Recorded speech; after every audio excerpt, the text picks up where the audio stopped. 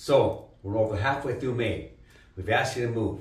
Are you moving? Are you getting outside, getting some oxygen pumping through your body? I hope so because it's good for you. It increases your energy, it increases your vitality, and it's a big part of cracking the energy code, getting you back to the energy levels you wanted from back in your day. Now, I want to say this. I've seen guy out there recently saying that aerobic exercise, cardio is bad for you because it raises your cortisol. Well, like most things, this is partly true, but mostly wrong. Let me explain quickly.